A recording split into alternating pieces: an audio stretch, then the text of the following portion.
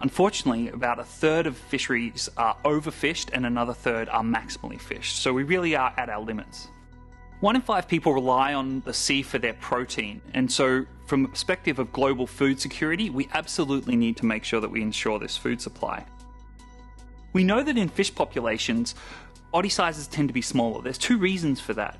Bigger fish are sometimes disproportionately targeted by fishing fleets, but also we know that in some species they're actually evolving to be smaller. Their risk of dying goes up when they're fished, and so they're evolving to reproduce at an earlier age in a smaller size. We know with rising global prosperity, demand for animal protein is going to continue to increase. So, if we're going to sustainably manage these fisheries and manage them into the future, we need to understand how things like body size affects production in fisheries.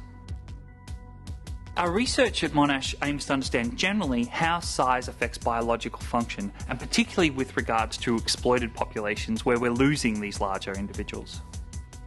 To conduct our research, we use data mining techniques to cull from the literature all of the relationships between things like size, reproduction, and growth for literally hundreds of species. This is leveraging the work of scientists all around the world for the past hundred years or so to establish the relationships between size and function.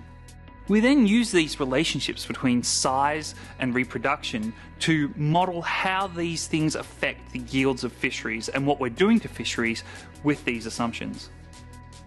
Our research will hopefully allow us to identify ways in which we can increase the yield of fisheries because we haven't recognised the true role of larger females in fish populations. Because one larger fish produces many more babies than a few small fish, what we've been doing is systematically underestimating the role of larger fish in replenishing these populations. And so, if we want to better replenish and manage fisheries, we can use things like marine protected areas that create reservoirs of larger fish that can spill over and enhance the production of fisheries more generally.